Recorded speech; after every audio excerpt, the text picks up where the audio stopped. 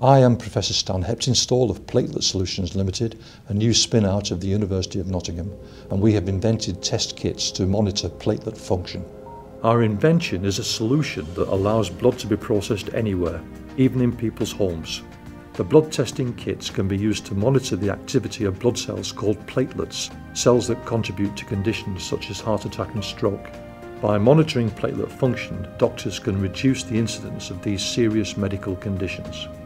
We want to translate our research into real clinical benefit to enable us to make a real difference to healthcare in patients who are at risk of heart attack and stroke.